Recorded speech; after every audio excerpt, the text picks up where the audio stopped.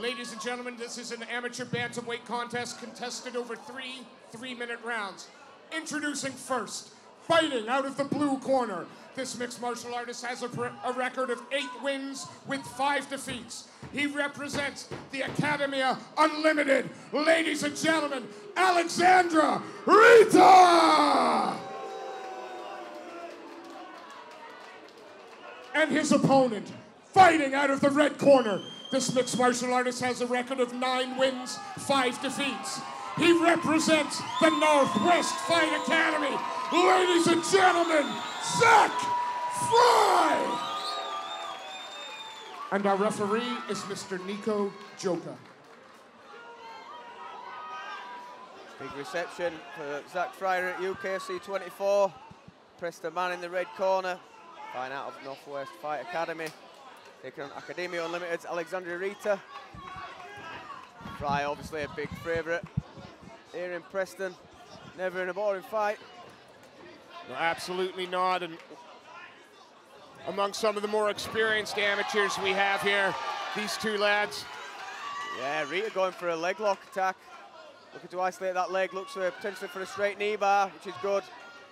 Looks like uh, he's a well-versed leg lock guy. He can't use heel hooks under this amateur rule set, but yeah, certainly uh, all fail with his leg entanglements. But guillotines are what Zach Fry does well. And looks for the Oh, switches he's to the gonna turn it anaconda. And that looks tight, hips are in, driving, he's got the leg trapped. This could be all she wrote for Rita. Readjust. Snap. Yeah, that does look tight. Yeah, it looks painful on the neck as well, but how durable, how resilient is Rita there? And what is it?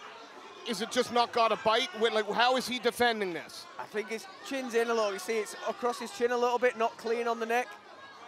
And that's what's giving him uh, space for the blood, blood flow to pass through his neck. But now with this readjustment, this could be the one.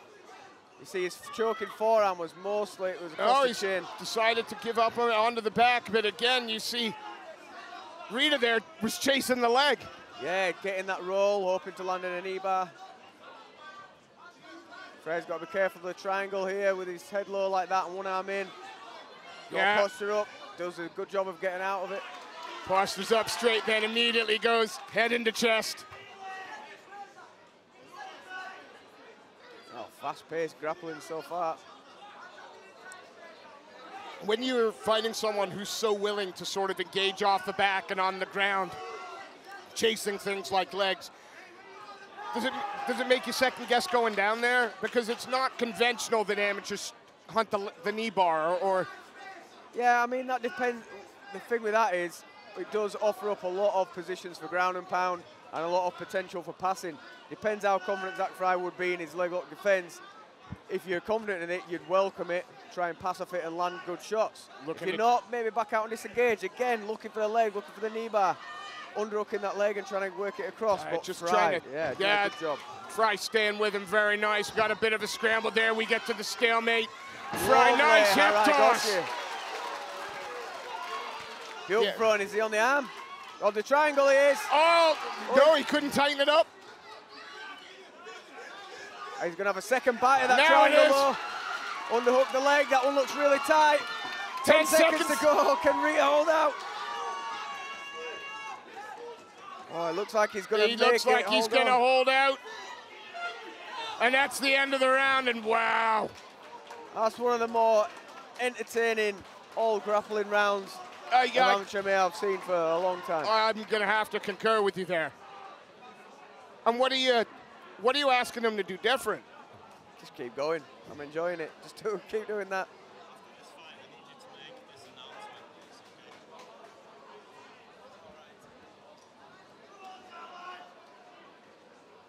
Okay, so one round in the books. Fascinating round, Steve. I think uh, Zach Fryer heading it had some tight submission attempts. I'm not going to say it was saved by the bell necessarily, but that triangle looked really tight as well. So two deep submission attempts, but Rita never out of it. Was always looking for stuff. Uh, but I think one in the books for Zach Fry. Oh yeah, I would. I would think so. Just, just for the amount of pressure he put him under with the submission attempt. Well, are we going to get two more like that? Fry's got a big smile on his face. He's enjoyed that first round. Here we go. Rita came out slugging in round one, but a nice high kick from Fry. Oh, Oh. and a big straight left, and, And- another one. On the neck again. Yeah, and he might stand up for the guillotine, or he might snap him down for the uh, anaconda. So I've seen Fry land guillotines before. He's good with that. Well, he ch- changed it up, chased for the single, but good takedown defense from Reed. I say as Fry bypasses that and rips Yeah. him down to the canvas. A nice single leg there from Fry. You saw Rita potentially thinking about the rubber guard, but with that butterfly hook stuck in, it's hard to get it off from there, really. But Fry's got the bottom arm trapped. Landed. Did have briefly. Started to land a few shots there did Fry. We'll see if Rita remains sort of aggressive off his back, searching for limbs right now. Fry just getting the posture. Yeah, I mean, it has to be said, you know, inverting, going for all sorts, Rita from the bottom, but he's not made anything stick. The only one that's made anything stick out of the pair of them is Zach Fry, despite all Rita's attempts on the legs, which is in on again. In on again. Zach Fry's happy though, weight's heavy through that leg. Rita's not going to be able to extend it very easily as long as he keeps the weight and knee on the mat. Doing a good job of defending there.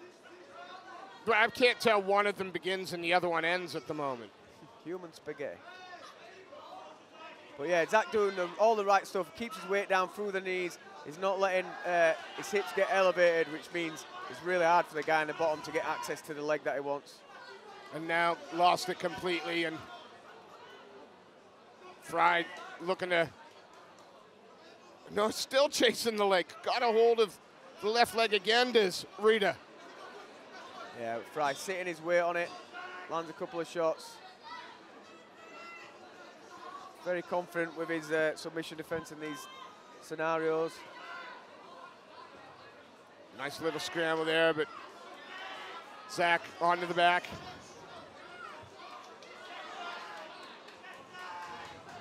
Yeah, got solid back control there. Fishing under. Rita's got good defence. He's obviously a seasoned grappler. Might be able to turn in there, but Fry, good job of working his way, not getting out angled. Body triangle, triangle now.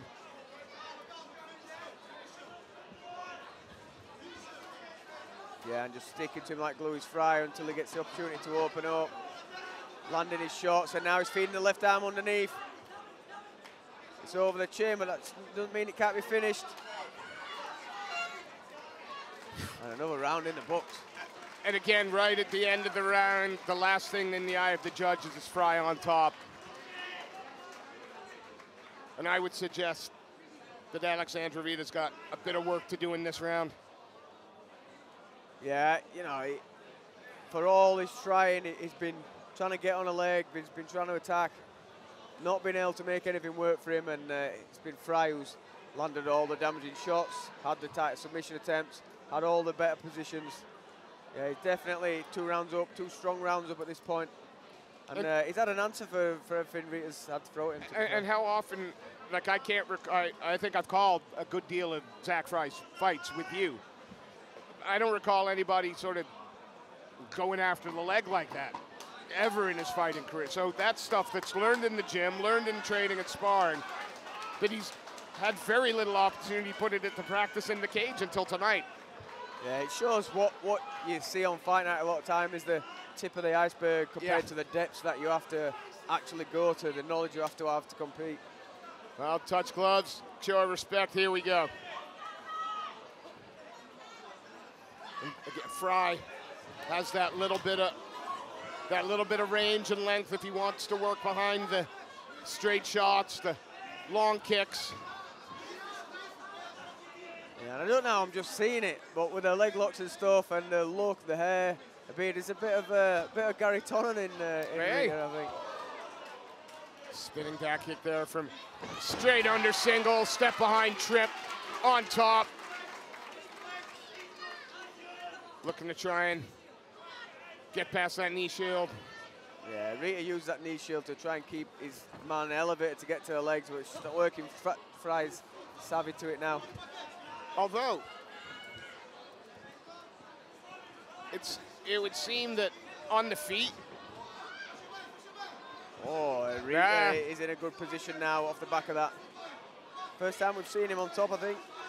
And I was, and I was just thinking, you know, Zach was doing well in the, you know, in the stand-up, sort of picking his shots.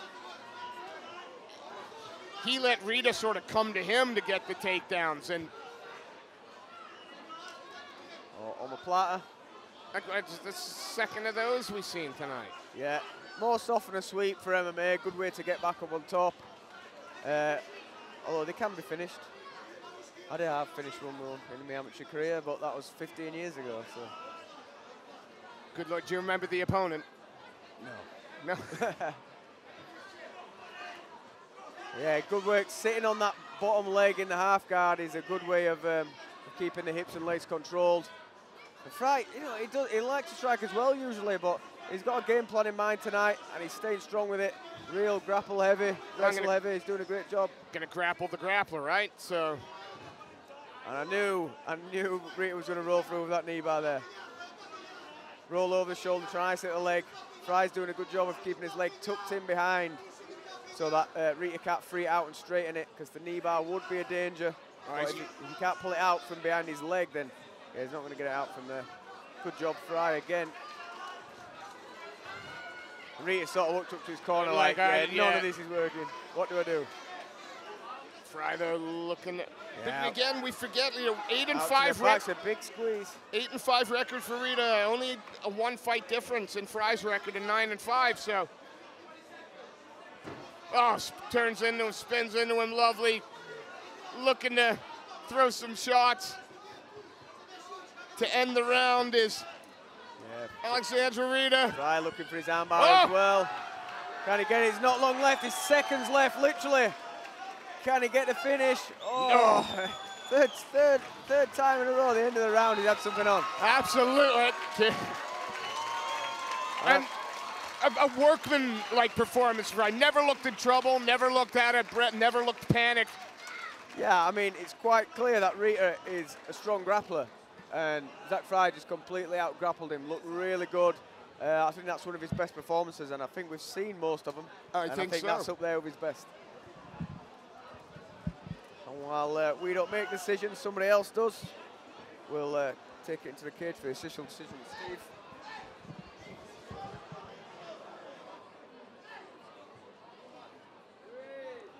Ladies and gentlemen, first off, let's give these two fighters a big round of applause, please.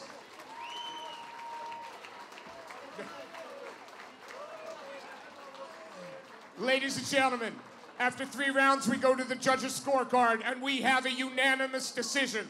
All in favor of the fighter in the red corner, Zach Fry! And ladies and gentlemen, please a round of applause for a game opponent, Alexandre Rita